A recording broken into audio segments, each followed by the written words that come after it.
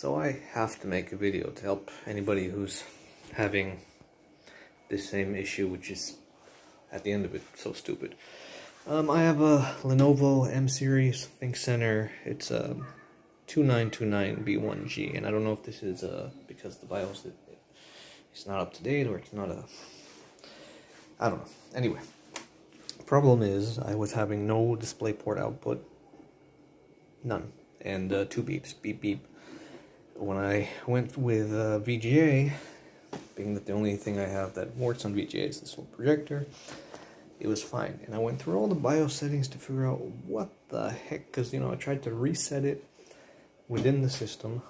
No luck. I removed the battery, waited, you know, all that garbage. I put the reset switch on there, beep, beep, beep, beep, beep. No luck. And every time I boot, boot it, it had two short beeps. Just a beep, beep no display here.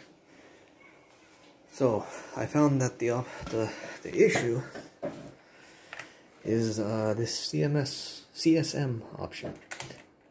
If it's disabled, for some bizarre reason, it won't boot.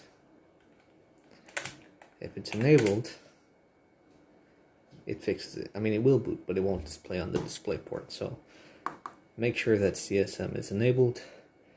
Um, I'm going to update the BIOS and see if it's still an issue, but yeah, hope that helps somebody out because I spent many hours and uh, yeah, that was the issue.